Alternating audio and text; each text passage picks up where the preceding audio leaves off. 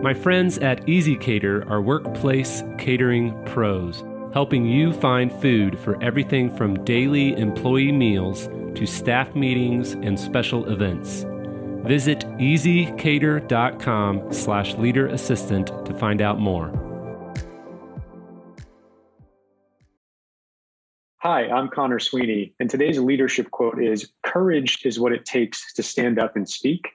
Courage is also what it takes to sit down and listen. Richard Branson. The Leader Assistant podcast exists to encourage and challenge assistants to become confident, game changing leader assistants. Thank you for listening to the Leader Assistant podcast. Assistants are workplace heroes, and as such, transitioning safely and securely from remote work to an in office environment is top of mind. And we all know that every superhero needs a sidekick. Enter today's sponsor, Swiped On. Swiped On is the fastest growing visitor and employee management software. With tools like contactless sign in, visitor screening, and evacuation management, Swiped On can help provide the peace of mind every assistant and their team deserves. So the next time you hear, What's your plan for the office as we return to work? Or, How will the hybrid workplace look for us? You can respond confidently knowing Swiped On has you covered. To learn more or sign up for a free 14 day trial, visit swipedoncom slash leader assistant. That's swipedoncom slash leader assistant. And when you're ready to move forward, be sure to use my exclusive discount code for 20% off their annual plan. The discount code is LEADER20. That's LEADER20 for 20% off their annual plan. So reopen your business safely today with Swiped On. Hey, friends, thanks for tuning in to the Leader Assistant Podcast. It's your host, Jeremy Burrows. And today I'm super excited to be speaking with Conor Sweeney. Conor is the Chief of Staff to the co founder and CFO at Box. Conor, how's it going? It's going really well, Jeremy. Thanks for, for having me. I'm really excited to be here today. And tell us a little bit about Box and who Box is for those who uh, haven't heard of it. Absolutely, yeah. So Box is a cloud content management platform.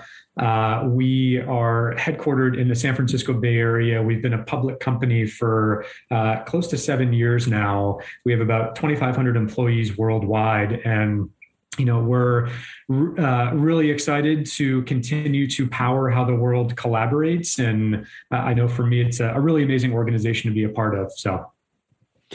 Great. And how did you end up at Box?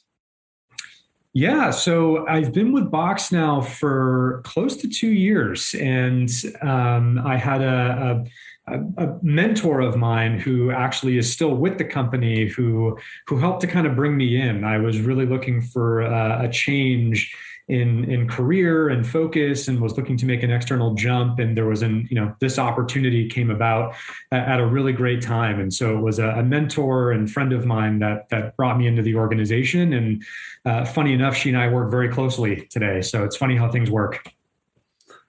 Yeah that's awesome. Uh, it's all about who you know right? It's it's definitely a big part of it yes. Uh, so okay. So tell us. Um, we're going we're going to get into the chief of staff role. Um, there's a lot of talk, especially in the executive assistant world, um, you know, about what exactly is a chief of staff. Um, is it a natural progression from, you know, the executive assistant position, um, and and so on and so forth. So we'll get into that in a second, but why don't you tell us just a little bit about yourself? Uh, where are you from? And um, maybe one interesting uh, fact that we should know about you.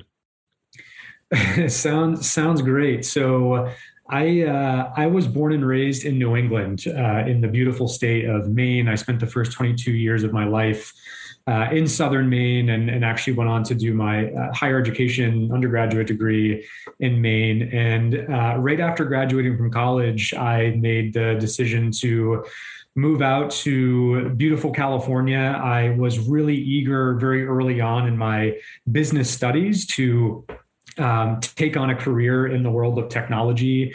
And that mixed with just really optimizing for some warmer weather uh, is what ultimately brought me out to California. I started my career, Jeremy, with HP. Uh, and was with HP for uh, close to, to five years, the first five years of my career.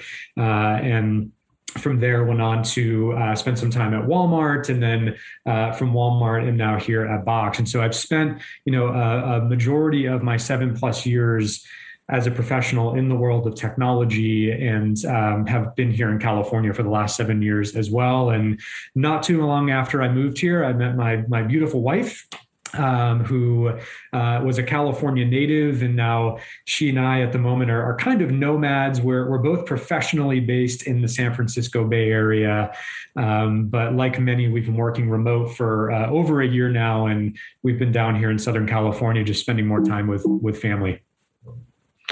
Awesome. So, what's your you and your wife's favorite um, kind of travel activity? You like hiking? biking? Do you like skiing? What what do you guys like to do? We have very different perspectives on this, which is, which is funny. They, they say opposites attract, and I couldn't agree more. Uh, you know, for me, Jeremy, one of my, my biggest hobbies is actually wine.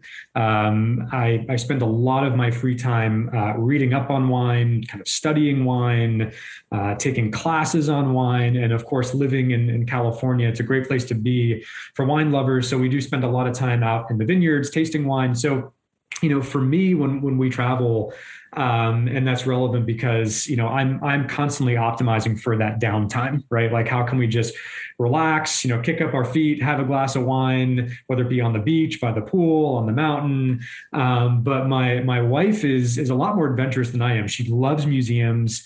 Uh, she loves exploring, and so we have a really good time when we're on vacation, kind of bringing those two things together. It's usually a very well-rounded trip. Uh, by the end of it, we've gotten in the relaxing part, the you know the sipping wine by the pool part. But but again, she's uh, definitely more exploratory than I am. So it's a total opposite approach to to vacations, but we we make it work and we we have a lot of fun doing it. Nice, and I I love that. Uh you know, you said wine is your hobby, and I didn't even know that was a hobby. You could technically call wine a hobby, but hey, that works. Some people would call wine a, a, a problem, but you call it a hobby. I love it. Yeah. Yes. Absolutely. Well, you know, and it, again, it, it, took living in a in a place. I mean, ha- having grown up for the first twenty two years of my life in New England, where you know the the world of wine is not nearly what it is in a place like California, where you've got the Napa Valley and Sonoma and all these like incredible wine regions. Um, it's just really, really fascinating. And for me, uh, I actually have a cousin who works in the wine industry. He's a sommelier. He's a certified wine expert, and he works at country clubs. And he's a wine educator. And it really took spending a lot more time with him to come to appreciate it a lot more than just wow this tastes great and it's a great way to kind of decompress at the end of the day because there's so much history and science specifically chemistry you know around uh, wine. And so just kind of the diversity of the topic and mixed with the fact that you know i enjoy the taste of it it's it's become a, a real hobby of mine. Nice. Love love it love it love it. All right. Well let's get into kind of the meat of the episode now that we've had our wine um, chief of staff. So, how did you end up as a chief of staff? And is it something that, or a title even that you um, aspired to or wanted to do, or did you just kind of fall into it? Yeah. So, I guess to answer the second part of your question first, yes, I knew very early on in my career that this was a tour of duty that I wanted for myself. I actually remember the moment it became very real for me. Um, a couple of years into my career at Hewlett Packard Enterprise, I was on a business trip in Las Vegas for uh, a big customer event that they were hosting. And through a colleague, I was introduced to a gentleman named Brad Harwell. And just for the mention, I, I hope he listens to this episode, uh, who at the time was the chief of staff for uh, HPE's North American Enterprise Group, which was a, a, five billion, yes, billion with a B, dollar organization. Right, this was a huge role, and and Brad had actually spent much of his career as a marketing and, and, and go to market executive within Compaq, and then later for a number of years with HP prior to stepping into this role, and it was spending time with him throughout that week and learning more about his world that really made me want this for myself at some point. It's everything from what he had exposure to, what he was learning, the relationships that he was developing. All of it was just super fascinating to me. And, you know, I'll also mention that I've always had a, a keen interest in leadership and specifically the correlation between leadership and organizational performance. And, you know, aside from being a senior leader, or having a seat in the C suite myself, you know, this was a role and is a role um, that provides kind of one of very few ways to see all of that come together. Um, you know, I'm also someone who aspires to sit in a senior leadership role at some point, and what better way to learn the ropes than you know to partner with those that are already there. You know, chiefs of staff get a very unique opportunity to not only see all of the moving pieces at a 30,000 foot view, but you know really get to watch leaders maneuver, maneuver through that environment which is truly you know kind of for me a one in a, a million opportunity and so I, I, always tell people there's really no better leadership accelerator than than this role and to kind of answer the first part of your question as far as how i ended up here you know i've spent a majority of my career jeremy straddling the line of business operations and corporate communications. I mentioned earlier, I spent almost five years of my career uh, at Hewlett Packard Enterprise. I spent spent the first few years as a business operations analyst. You know, later moved on to become a business operations manager, working across organizations such as global procurement, global real estate, IT, um, really kind of across a majority of of um, some of the more technical functions, uh, you know, kind of within the finance world at HP my last gig at HP was actually with the Global Real Estate Group, where I had this you know, amazing opportunity to lead a portion of the company's West Coast real estate operations team, which is what geographically brought me to uh, Silicon Valley in the first place. And kind of beyond my years at HP and really focus on all things ops and strategy. Uh, I then went on to spend some time at Walmart working in their e commerce business and uh, had this very unique opportunity to lead all aspects of executive communications for their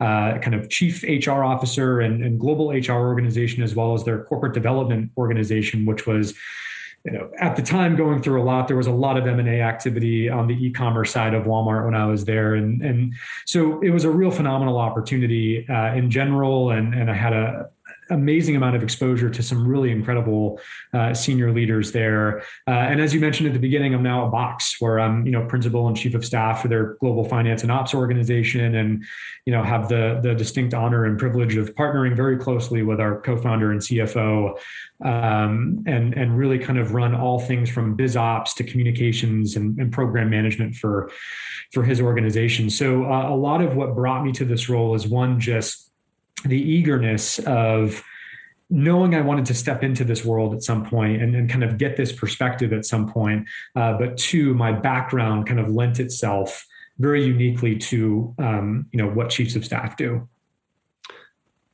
That's great. So that's perfect segue to my next question. In one or two sentences, you kind of uh, used a, a few more sentences to describe a little bit of it just now, but in one or two sentences, can you describe what a chief of staff does?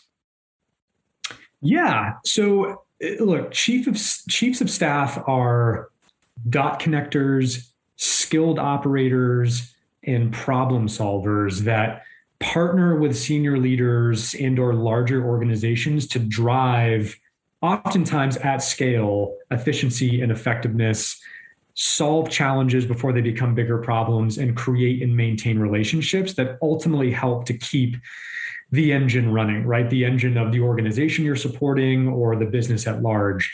Uh, a chief of staff is often the the right hand to a chief executive and serves as a I like to call it key multiplier for that chief executive and their their leadership team.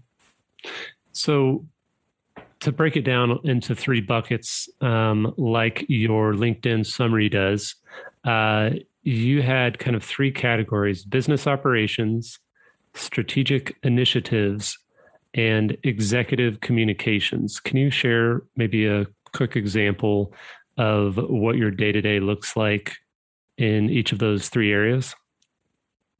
Yeah, absolutely. So, you know, every day, and I mean every day, is different in a role like this.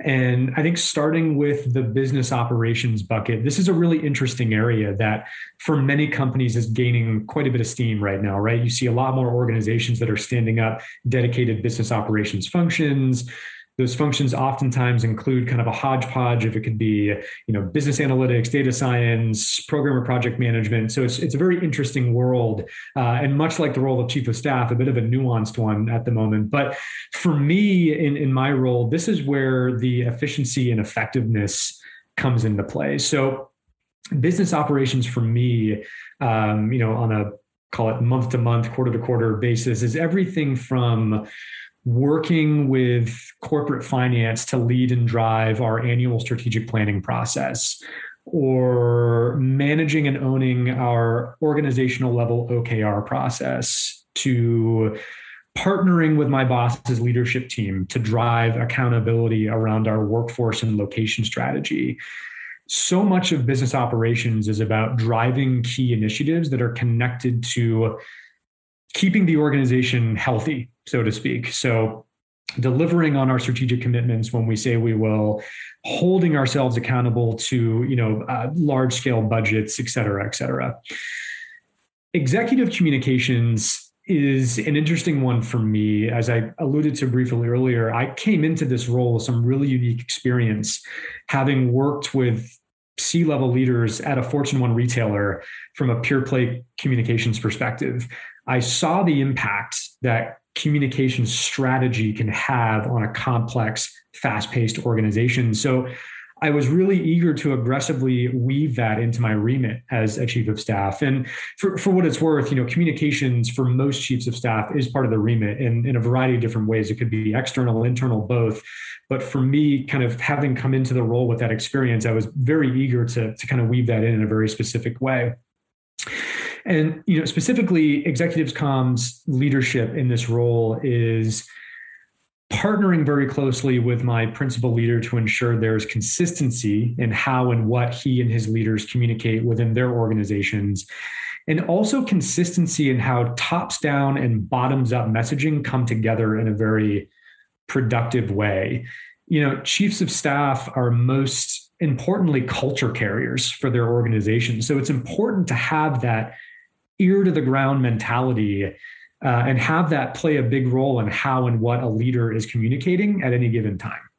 And I, lastly, on the strategic program management, strategic initiative leadership, you know, whatever you want to call it, this this um, is really taken oftentimes large, complex, messy projects that don't always have a home in the organization and bringing them across the finish line. You know, program project management, it's a huge part of any chief of staff role. Uh, you know, I've personally in this role worked on everything from helping to stand up various phases around our company's location and workforce strategy to putting specific frameworks in place to track our free cash flow progress against our targets and commitments that we've set to partnering with leaders across the company to, to drive progress around the you know reopening of our offices in a post-covid world. This is where really where i see the most diversity in my role. And again it's important to call out that you know oftentimes the projects or initiatives that chiefs of staff work on are they're critically important to leadership but oftentimes struggle to gain momentum due to the lack of organizational ownership. So, you know, in in this situation, and for most chiefs of staff, you're expected to come in, you know, break down those barriers and ultimately just find a way to get stuff done and forge partnerships to do that in, in environments of uncertainty. And so that's that's kind of how I break down those those three buckets. And that's great. That's like super super helpful. There's so many um assistants that reach out asking about the chief of staff role, and I'm excited to uh, share this episode with them because you just sum- summarized it greatly. So thanks for doing that. Um, so, how do you partner with assistants, uh, specifically C-suite assistants at Box in your role? It's a, it's a great question, and you know, I'll, I'll start by saying, and and you know, while there's absolutely some adjacency in these roles, right? Kind of the the EA and the chief of staff, um, as far as stakeholder management and and the commitment to a senior leader, the roles are quite unique and quite different from each other, right? And you know, to me, the biggest differences boil down to, you know, time and responsibility the the now slash in the moment versus the kind of future moments the tactics versus the strategy. But you know different topic for for a, a different time. But you know my bosses ea and i are are tied at the hip jeremy. We agreed very early on that a successful partnership between the two of us was critically important to the success of the org and our leaders. You know, as much as I want to say that there's a, a secret magical sauce to this partnership, and for some there may be, um, you know, for me, there, there really isn't. Like any business partnership framework, um, you know, respect, trust, and knowing when to stay in your own lanes is, is really important and, and creates the environment for a very successful partnership. So, um, yeah, I, again, kind of the way that I work with, you know, C-suite assistants at Box is in a variety of different ways. They can be very, very helpful in certain programs or projects that we're trying to push across the finish line. Their perspective on just the amount of time right that a leader has to dedicate to certain things is is a very um very unique and necessary perspective for us as chiefs of staff to have as we're trying to align kind of time allocation to what it is strategically that we're focused on as an organization. So, um, you know, I've had the philosophy since day one in this role that um, you know the the partnership, the EA chief of staff partnership is is really really critical to the success of of any organization that has the two roles that are coexisting. So I I just got on a got off of a uh, coaching call um, this week with an assistant who is in a new role and is working with a chief of staff that, uh, to be frank, is just kind of at a lower level than the assistant is. And she's really struggling with, like, okay, how do I not just step in and do their job but also kind of help help them grow. And you know, there's this there's just an interesting dynamic when you step into a role. Um, they're supporting the the same executive, and the chief of staff is is new to the the three um, three point triangle, if you will. Um, any suggestions to those assistants listening who may be struggling with that relationship and partnership um, between the chief of staff? Yeah, it's it's a really interesting question. Um, you know, I think for your specific example, what's what's most interesting is most chiefs of staff are are new to their role, right? So if you if you think about like the evolution of the chief of staff role, it's it's oftentimes not a role that's optimized for somebody to be in it for a really long period of time, right? Chiefs of staff roles are kind of most commonly I hate to call them rotational roles, but there's usually kind of like a two to three year shelf life on the role because oftentimes the person that's stepping into that role is stepping into that role for you know a pretty specific reason to develop skills in a certain area to kind of forge partnerships to then kind of go on to you know the the next thing. And so um, now I, i'll say that kind of the nuance there is is that i, I personally do know you know some chiefs of staff that have been chiefs of staff more than once. And i have the utmost respect for them because i don't know how they mentally and physically do it. Um, it's for me one of those roles that you know you do it for a few years and you exhaust yourself and you take in all that you can and then you kind of move on. So uh, i'll say uh, kind of back to my original point that most chiefs of staff are coming in relatively new to the world of being a chief of staff right? And it can absolutely be challenging, I'm sure, for executive assistants who have been with an executive for maybe a much longer period of time or have you know been working in the EA world for a lot longer than the chief of staff has been working in the chief of staff world. But I, again, I think it really all comes down to kind of you know partnership, communication, and intention right so you know one of the things that i was really clear with my boss on when i came into this role is you know why did you hire me right? What are the things that you're optimizing for that that i can help kind of drive across the finish line that i can help accelerate right? And so i think it's really important and you kind of alluded to a triangle earlier but when i think about like a principal leader an executive assistant and a chief of staff there needs to be a certain level of alignment between those three around who's doing what why they're doing what and ultimately like what what the goals are right there needs to be a sense of leadership advocacy in the upfront to really help set the tone for what will hopefully be a very successful relationship between that chief of staff and the EA. So I would challenge the the EA in this particular example as someone who sounds like has a bit more experience with the company, organization, leader to to really do what they can to kind of liaise that sense of you know what is it that the senior leader is looking for? What is it kind of in my world and with my experience that i can do to help this chief of staff be be successful? I would challenge that ea and that chief of staff to spend a lot of time in the upfront developing kind of parameters and criteria around their partnership framework, right? Who's doing this thing and who's doing that thing, right? As it relates to kind of like staying in one lane versus the other, like getting very, very specific around who's doing what so that there really isn't any murkiness or question marks around you know kind of again that that broader partnership framework. So i you know kind of long-winded way of saying um, you know collaboration communication uh, and then that leadership advocacy from the senior leader is is really for me i think kind of the the ultimate trifecta for for driving a successful partnership especially between those two roles. Hmm. yeah that's well said well said. And i uh you know it's it, it's interesting because the you're talking about trust earlier and just kind of the communication between the roles and then clarifying the expectations is such a huge thing. Like um, i was talking to a different assistant several months ago and she was like you know when we started we being the executive the chief of staff and the assistant when we started working together we didn't clarify the roles and and and make it extra clear on who was supposed to do what. And so there were there the chief of staff and the assistant were stepping on each other's toes like all the time. And you really just have to nip that in the bud early on and and get that clear, uh, just like you said. So yeah, uh, well, I think you know there there is in my opinion a duty of the principal leader to to really be very intentional about what he or she is looking for in the roles right mm-hmm. i mean mm-hmm specifically the chief of staff role, uh, you know, as I alluded to uh, briefly earlier, is it's gaining a lot of momentum right now. I mean, it's a really hot role for a lot of companies for a lot of different reasons. And what I see is a lot of leaders saying, well, I want a chief of staff.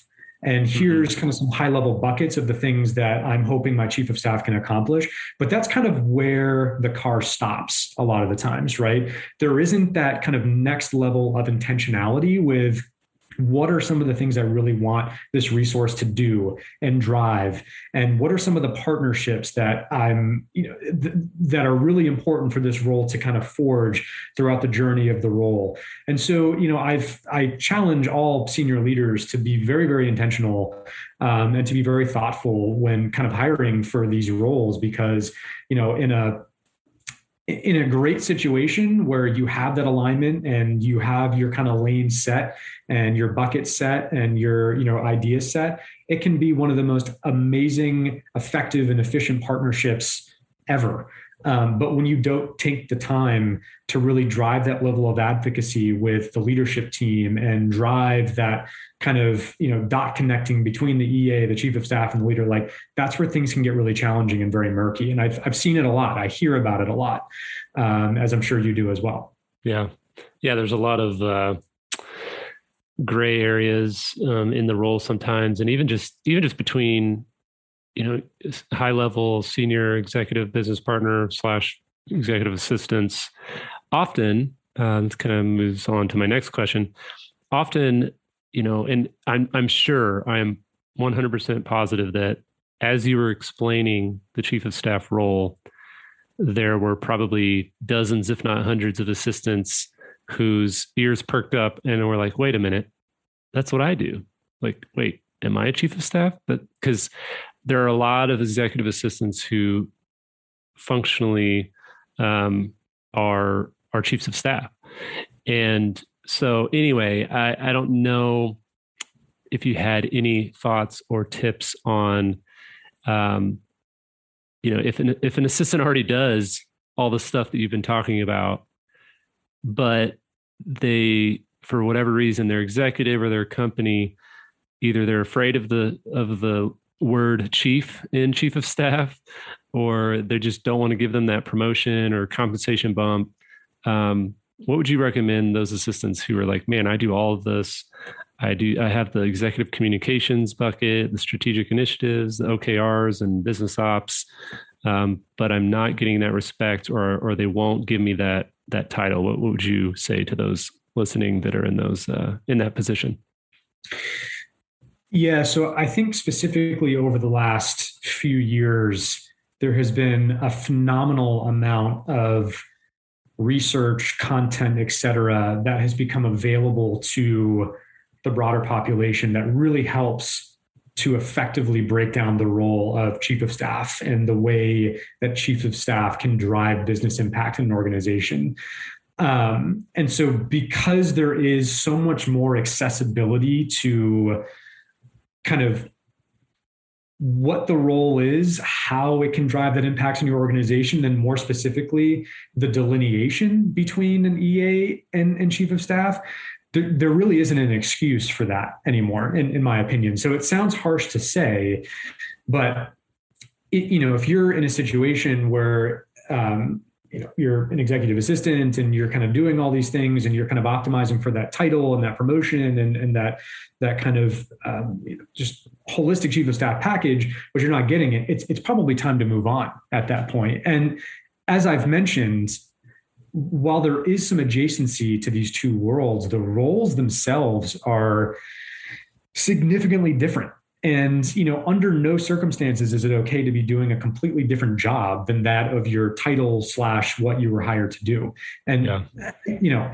if someone was hired as an fp&a analyst in the finance world but you know kind of later came to the conclusion that they were doing the job of a manager uh, you know in the investor relations world you'd either reclassify yourself as a manager in the investor relations world with your management or you'd probably find something else right? I mean this is exactly the same thing because there is definitely adjacency between you know what an fp&a analyst and somebody in investor relations does. The adjacency there is that they're both finance driven roles but they're very very different as far as what they're focused on and what they're driving and kind of strategically what their remit is. Um, so you know i know that situations like this aren't always so cut and dry but i do think it's important for chiefs of staff eas and leaders to kind of all understand equally that by design and intention the role of an ea and the role of the chief of staff are very different roles. And so to me this is almost a call and I, this is kind of piggybacking off of my last name and statement to all senior leaders to ensure that there is intention when you're hiring for chiefs of staff and EAs and that there's a fundamental understanding of you know what the two roles can execute you know for you and your organization based on you know kind of the remit of the roles. So um you know i know i answered this in a pretty black and white kind of way as far as like hey you know this is an ongoing struggle. It's you know you know time to take a hike and, and maybe go check something else out. Um, but you know career development is a, a, major passion point for me. And you know no one's looking out for your career development more than you are. And so i know these can be very challenging situations but sometimes you have to cut your losses if you're finding that you're not getting the momentum that you you should in my opinion in a situation where there is clear delineation between the two roles yeah and what you said about the there's more resources now that are available to anybody that can clearly delineate between EA and chief of staff. So that should help uh, assistants in this position. Um, you know, put, put together that business case, and then yeah, I agree. I mean, it's it's obviously scary and um, challenging to try to just leave your job and find another one. But if you're doing a role, like you mentioned, if you're doing a role that you're not being fairly um, recognized and and compensated for, then yeah, it's it's definitely time to move on. All right, so what if you're an assistant listening and you're like, I want to be able to do all that. I I, I strive to do all that. What's something that um, assistants can do to prepare themselves for the chief of staff role someday? It's a great question. I I tend to follow my current roles framework when answering this question, kind of leveraging that communications, biz ops, program management bucketing that we you know talked about a bit today. You know, I, I think developing yourself within a variety of different skill sets is really one of the best things you can do to prepare for this role or any role, right? So I think specific to the chief of staff role and kind of breaking it down in those buckets first, you know, I've mentioned this having some communications chops is key to the success in a chief of staff role, right? I was I would go as far as to say that this is the most important skill to develop and one that I utilize the most. It's everything from working with senior leaders to craft compelling narratives around business critical initiatives to taking highly complex ideas and distilling them down to simple, digestible concepts, to being able to effectively and efficiently communicate an idea or an initiative to every type of audience. Communications is everything in this role. And you know, I alluded to the term dot connector earlier. As the chief dot connector of your organization in a chief of staff role, we can't connect the dots if we can't efficiently and effectively communicate. So any opportunity to develop these skills through public speaking opportunities or, or kind of comms coursework, et cetera, I think is is really, really important and you know beneficial to, to everything, right? Not just you know you optimizing for a future chief of staff role, but you know communications really makes the world go around in a lot of ways. You know, secondly, having as I've mentioned earlier, having significant project and program management experience is incredibly important for anyone looking to step into this role uh, not just for the obvious reasons of wanting to ensure that you're comfortable with various whether it be project management frameworks, working styles, et cetera, but also being used to working with every type of stakeholder across a business, which PMs oftentimes do, right? There's kind of that, that political nature to, to the world of program project management. So being able to effectively stand up a process, a system, a policy with the help of a variety of different business profiles whether that be you know engineers go to market folks it folks finance professionals et cetera.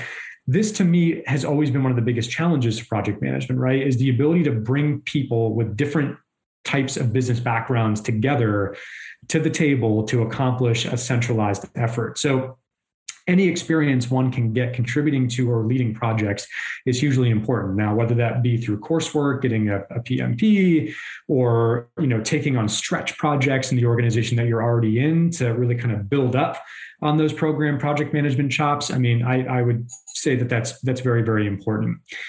And lastly, on the biz ops front, it's it's hard to boil this down into various things. Um, you know to channel in preparation for a role like this but i'll say that the ability to analyze data and quickly make decisions based on what that analysis is is it's really important right? As an extension of the leader or leadership team in a strategic capacity in a chief of staff role it's important to do your best to know as much as they know and in certain situations know more so that you can provide that sometimes very necessary strategic advisory to avoid potential challenges down the road. So net net skill development, Jeremy, is very, very important in, in preparing for a role like this. And, and I think thankfully, you know, if you're sitting in a large organization already or have access to, you know, a variety of different business backgrounds and partnership frameworks, et cetera, you can oftentimes take advantage of that to take on stretch projects or get sponsorship to do different certifications, programs, et cetera. But I think skill development is, is really key here. Would there be maybe uh, one or two either books or courses or you know you mentioned the pmp but is there any like maybe your favorite book or resource to help kind of that's helped you in your development for this role? Yeah so i'm a huge proponent for professional development organizations. So when i first stepped into this role I joined an organization called the, the Chief of Staff Network. It was formerly called the Chief of Staff Tech Network, uh, is now called just the Chief of Staff Network. And it's essentially a, a grouping, right, of chiefs of staff across the technology industry from all around the world that work in, you know, all different size companies, startups to major enterprises, et cetera, um, that, that kind of get together to, to drive knowledge sharing and share tips and tricks and tools and processes and frameworks and you know I, I, was part of the the San Francisco Bay Area chapter and kind of pre-COVID, um, the chapter would meet every month at a different person's office, right? So one month I would host, you know, the the meetup at at Box, and you know, another month it'd be maybe over at Chime or Brightwheel or you know wherever it was,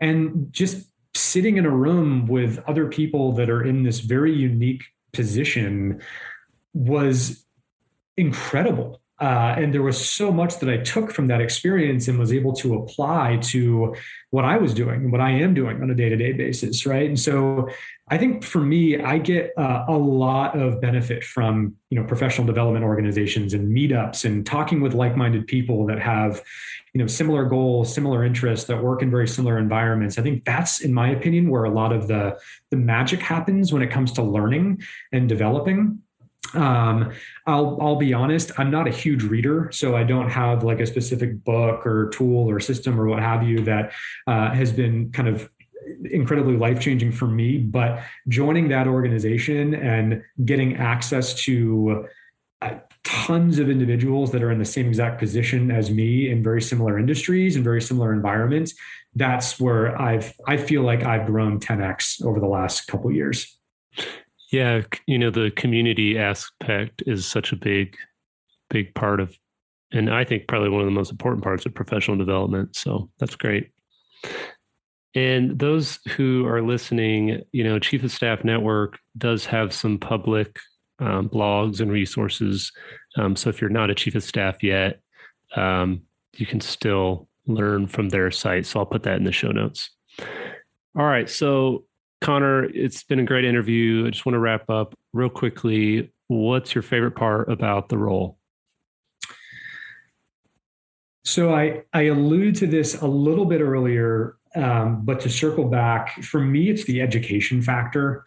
You know, in a role like this, you're oftentimes partnering with and learning from the most influential and senior leaders in any organization. And so, you know, chiefs of staff have a very unique opportunity to see how all the pieces come together at an altitude that's, you know, normally reserved for the C-suite, right, and, and senior leaders. And so, um, I, you know, I've mentioned it earlier. I mentioned it again. I, I firmly believe that this is one of the best leadership accelerators out there.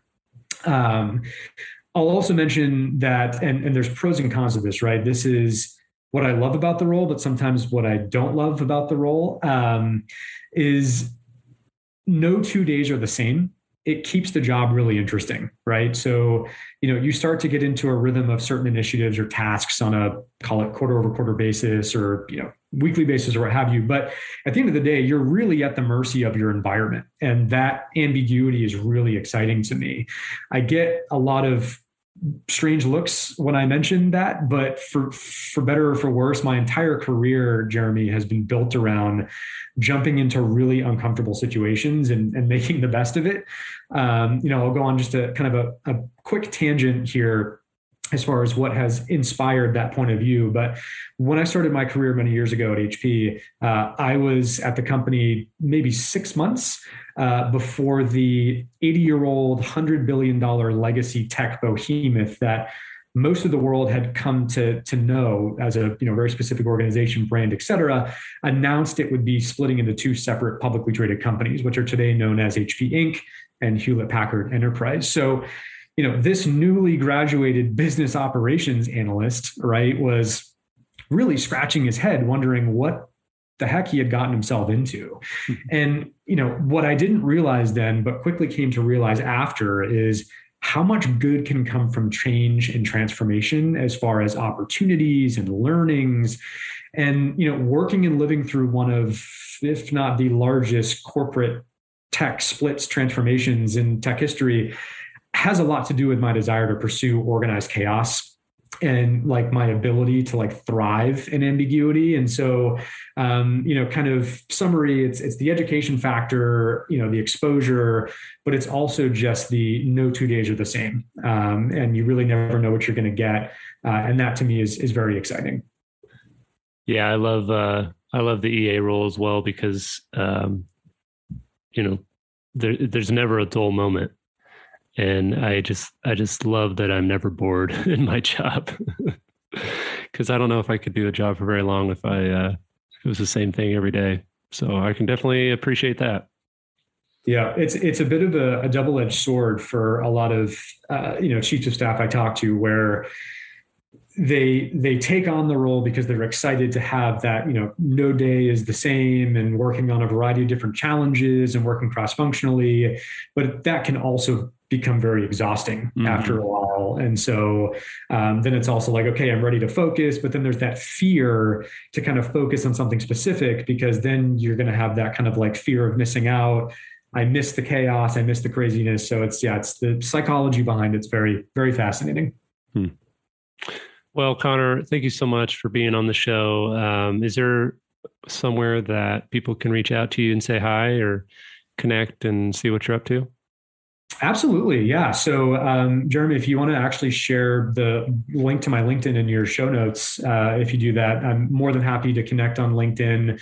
Uh, certainly over the last year and a half, as we've all been kind of navigating through these very unique and challenging times, LinkedIn has become one of my absolute favorite tools. And, you know, I've developed some really amazing connections virtually uh, over that time with people just kind of dealing with this ambiguity and and kind of unique situation in very different ways. And um, it's it's a platform that I think has, for the most part, kind of stayed away from some of the you know political division right that we see on other social media platforms. And so mm-hmm. you know i spend a lot of time on linkedin and and really like what it does for people and the access that it gives people. And so uh, yeah i feel free to reach out to me there. I'm always happy to connect. Cup of coffee glass of wine email whatever it is i uh, I'm, I'm all about it. Awesome. Well, I'll put that in the show notes for sure. And yeah, thanks again. Uh, best of luck to you in your journey as a chief of staff, and we'll talk soon. Absolutely. Thanks for having me again, Jeremy. Uh, really appreciate it. Thank you for listening. Check out the show notes at leaderassistant.com slash 120. That's leaderassistant.com slash 120. Have a great day, and we'll talk to you next time.